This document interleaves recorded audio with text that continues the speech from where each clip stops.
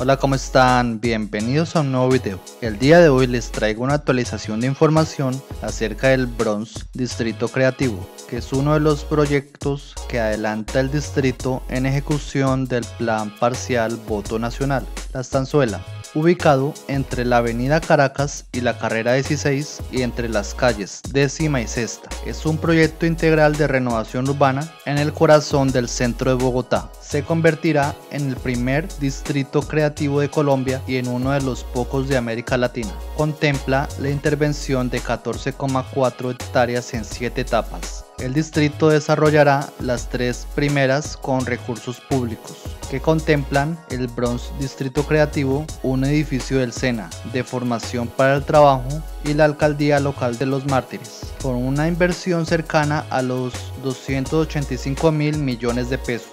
Y por otra parte, se plantea el futuro desarrollo de 3.712 viviendas con inversión privada.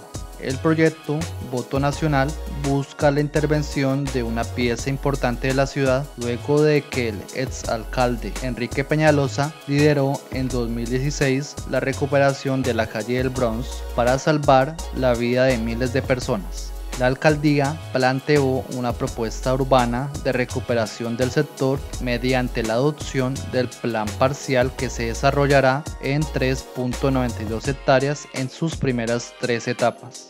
El Bronx Distrito Creativo es una apuesta de ciudad, liderada desde la Alcaldía Mayor de Bogotá a través de la Fundación Gilberto Alzate Avendaño y la empresa de renovación y desarrollo urbano que se convertirá en un gran polo de desarrollo económico, social y cultural. Es un proyecto que brinda a los jóvenes actores de las industrias culturales y creativas un espacio de 35 mil metros cuadrados, de los cuales 29 mil corresponden a los edificios del distrito y los otros 6 mil serán destinados para el uso de espacio público. Dos bienes de interés cultural han sido destinados para este gran proyecto el batallón de reclutamiento antigua Facultad de Medicina de 12.000 metros cuadrados en donde se plantea que los tres patios que tiene el edificio se intervengan con espacios de permanencia y que sobre ellos se dispongan cubiertas transparentes retráctiles que se cerrarán o abrirán de acuerdo al clima, al uso y a la hora del día. Y el edificio La Flauta de 1.341 metros cuadrados también conocido como la morgue, fue la sede del Laboratorio de Minas y Petróleos y el Herbario Nacional. Ambos fueron diseñados por el arquitecto francés Gaston Lelarche. A esto se suma el espacio público cubierto conocido como La Milla, de 2.727 metros cuadrados, entre las calles novena y décima, que conecta las dos edificaciones. Va a ser una galería cubierta y flexible, concebida para albergar eventos culturales y sociales de gran escala, y servirá como plazoleta cubierta para el uso cotidiano de la ciudadanía.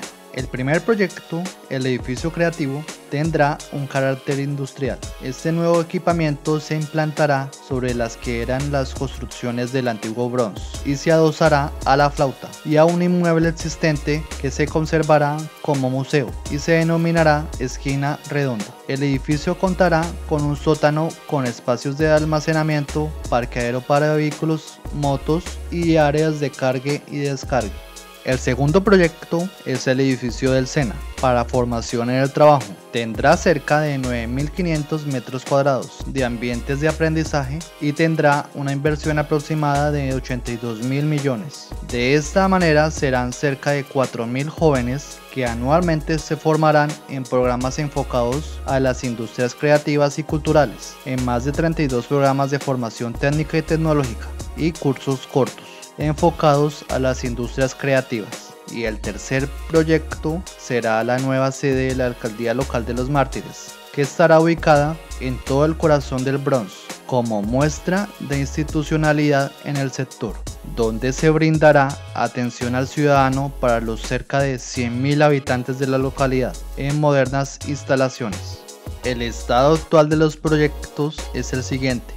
En 2019 se adjudicó la licitación para la construcción del edificio dotacional del SENA. El consorcio Estanzuela está realizando los estudios técnicos y diseños de detalle, la gestión de permisos y obtención de las licencias y posterior construcción de este edificio. Mientras tanto, se adjudicó al consorcio La Flauta 2020 las obras de primeros auxilios del edificio La Flauta y se entregarían en abril del 2021 y posteriormente el diseño y la construcción de la sobrecubierta del edificio. La inversión total de este contrato asciende a 2.400 millones de pesos. También se adelantan los estudios y diseños de detalle arquitectónicos, incluyendo la gestión para la obtención de permisos para la construcción del nuevo edificio de la alcaldía local y su respectiva interventoría. Y por último, del Bronx Distrito Creativo se espera abrir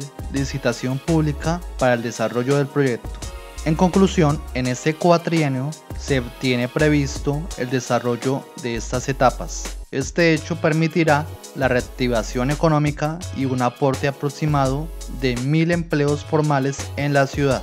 Además, las obras ayudarán a fomentar el turismo y la presencia de visitantes a la zona. Como siempre, muchas gracias por suscribirte. Si te gusta este tipo de contenido y quieres escuchar más opiniones e imágenes sobre proyectos arquitectónicos o urbanísticos, dale me gusta, suscríbete, comenta, comparte y activa la campana para que no te pierdas ningún video nuevo.